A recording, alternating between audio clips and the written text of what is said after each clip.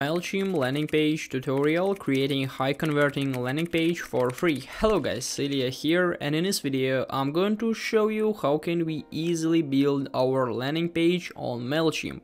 So here we are on MailChimp.co, let's go to our dashboard to start creating. Basically it's not that hard, let's click on create in the left top corner and here on creating page we just simply need to choose landing page in the left side menu. And uh, here we can start our creation. We need to select the landing page name. So let it be like landing page 1 for example. And we also need to select an audience. I have this audience here. So let it be like this. Let's click on begin and we'll come to the next uh, stage basically where we can find a lot of uh, different templates we can easily use.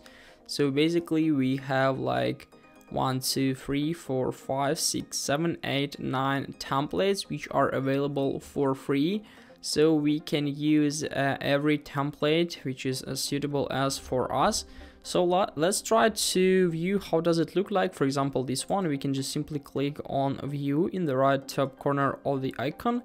And now it looks like this. It's totally responsive, so we can switch between different devices. And as you can see, it was successfully like adopted. So I think it's pretty cool. We can close this icon and let's click on it to use this template. These templates may include placeholder, stock images and copy. Before you can use a template, you must accept an additional term. So let's click on accept and uh, we can try to use it once more. So let's click and in a few seconds, uh, we'll come to our like uh, editor page where we can start creating, where we can start our customization.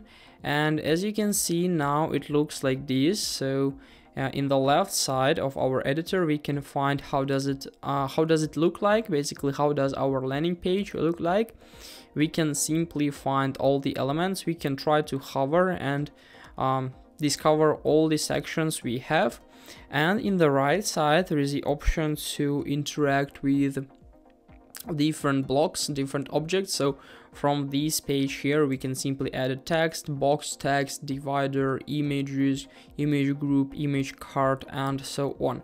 So uh, moreover if we'll click on some icons we can just simply uh, use and just interact with different stuff. So basically for example if you want to change this text we can just simply click. And then in the right side menu there is different properties for this text. So let's try to change it. For example thanks for sub. I'm going to create a landing page for the subscribers. Thanks for sub. I'm going to make it bold italic and i also want to increase the size. So let it be maybe like 50 right up here. And also we'll try to find uh, we'll try to change the text color let it be like maybe yellow or orange something like this. The next step I want to do is just to change this description. We'll write something short for example welcome on this channel. Let it be like this for example and also I'm going to customize let me make it bold. I'm going to change the color so let it be for example blue.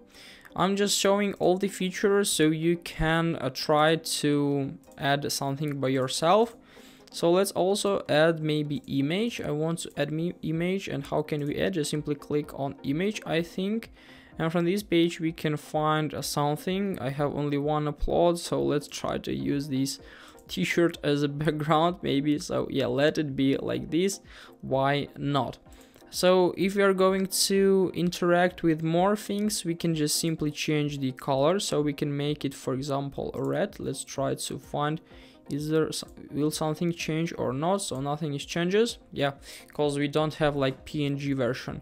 And in this case we can just simply interact with every single element. I want to add a text here so basically let's click on save and close and I want to add the image here for example so we can just simply click on upload and then just upload it from our files or with creative assistant so there are a lot of options basically we can use or we can try to upload these GIFs. So let's try to use something which is suitable as for us.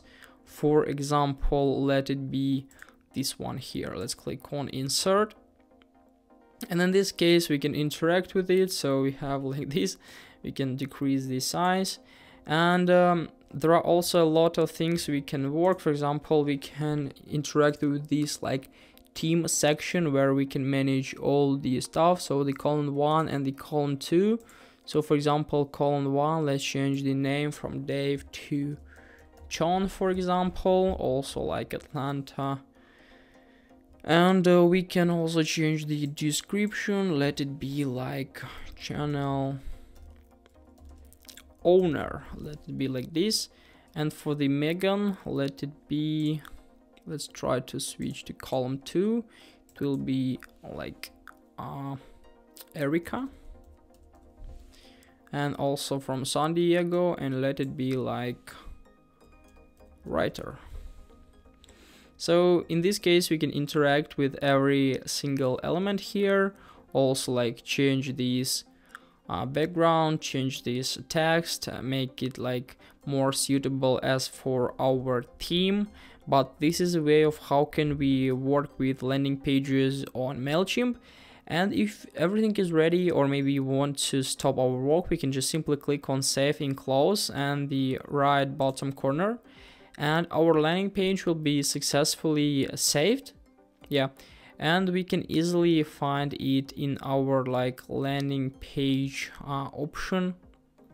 So basically it will be right up here. We can now click on publish and it will be published to the internet basically i think. So now, yeah, we can share it by simply click on this button and as you can see, it looks like this, everything was customized, what did we change, and now we can even share this link to the to all the guys.